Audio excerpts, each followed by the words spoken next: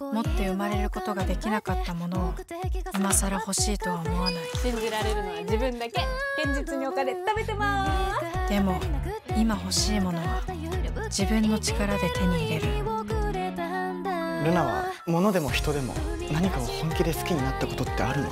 隼人に私の何が分かる？のこれからは本当にちゃんと頑張りますんで。ああ死にたい。私が信じるのは自分だけ。